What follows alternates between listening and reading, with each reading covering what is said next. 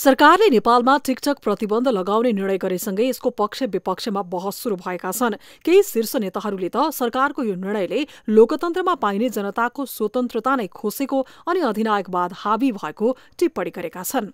TikTok प्रतिबन्धको निर्णयमा कुन नेताले के भने? नेपाली कंग्रेसका महामन्त्री गगन कुमार थापा। सत्तारूढ दल नेपाली कंग्रेसका महामन्त्री गगन कुमार थापाले टिकटक प्रतिबन्धको निर्णयप्रति विरोध जनाएका छन्। सरकारले टिकटक बन्द गर्ने निर्णय गर्ने बित्तिकै उनले सामाजिक सञ्जाल फेसबुक मार्फत टिप्पणी गर्दै लेखेका छन्। सामाजिक सञ्जालको दुरूपयोग गर्नेलाई निरुत्साहित गर्न नियमन आवश्यक छ तर सामाजिक सञ्जाललाई नियमन गर्ने नाममा बन्द गरिनु सरासर गलत हो। यो एउटा सामाजिक सञ्जाल बन्द गर्ने नगर्ने भन्दा पनि यो सरकारको नियतको विषय हो। यसमा सरकारको नियत अभिव्यक्ति तथा व्यक्तित्व स्वतन्त्रतालाई कुण्ठित गर्ने देखियो। सरकारले यो कदम सच्याउनुपर्छ यसमा किन्तु परन्तु केही पनि चल्दैन। नेपाली कंग्रेसका महामन्त्री विश्वप्रकाश शर्मा। सत्तारूढ दल नेपाली कंग्रेसका महामन्त्री विश्वप्रकाश शर्माले टिकटक बन्द गर्ने सरकारको निर्णय अलोकतान्त्रिक भएको भन्दै तत्काल फिर्ता लिन आग्रह गरेका छन्। सरकारको निर्णयबारे शर्माले सामाजिक सञ्जाल ट्विटरमा यस्तो लेखेका छन्। कलाकार जन्माएको छ लाइभबाट कैयौंले कमाएका छन् व्यवसाय प्रवर्धन गरेका छन्। दुरूपयोग जो जसले गरे तिनीहरूलाई निरुत्साहित र नियन्त्रणको विधि बनाऊ तर टिकटक बन्दको निर्णय अविलम्ब फिर्ता गर। टिकटक मार्फत द्वेष फैलाउनेलाई पहिचान गर्न र कानून बनाएर बन्द गर्न आफूहरूको पनि समर्थन हुने तर गर्धनमा पिलो आयो भनेर गर्धन नै काट्ने कि जोखिम रहित उपचार खोज्ने। नेकपा एमालेबाट पनि विरोध।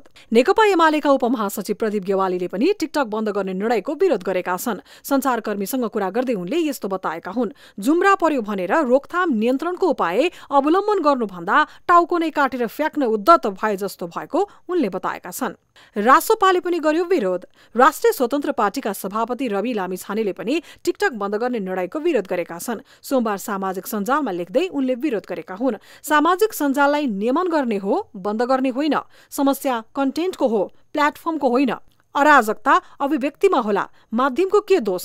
उनले लेखेका छन् टिकटकका कैयौं युजर र कन्टेन्ट खराब छन् तर सबै युजर र कन्टेन्ट खराब छैनन्। टिकटकमा हाल्ने सामग्री फेसबुक इन्स्टाग्राममा पनि राख्न मिल्ने भन्दै त्यसलाई पनि बन्द गर्ने भन्दै उनले प्रश्न गरेका छन्।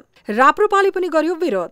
राष्ट्रिय प्रजातन्त्र पार्टीले सरकारले टिकटक प्रतिबन्ध गर्न लागेको प्रति आपत्ति जनाएको छ। राप्रपाका प्रवक्ता मोहन कुमार श्रेष्ठले सामाजिक सञ्जाल फेसबुक मार्फत टिकटक प्रतिबन्ध गर्ने सरकारको निर्णय अधिनायकवादको नयाँ अध्याय प्रारम्भ भएको टिप्पणी गरेका छन्। यो यो निर्णय अस्वीकार्य आपत्तिजनक र दुर्भाग्यपूर्ण भएको समेत उनको टिप्पणी छ। यी त केही प्रतिनिधि नेताहरू मात्रै हुन्। अधिकांश नेताहरूले टिकटकको नियमन आवश्यक भएको तर बन्द गर्नु जनताको स्वतन्त्रतामाथि मात्र नभई उनीहरूको आय स्रोत पनि खोज्नु भएको टिप्पणी गरेका छन्।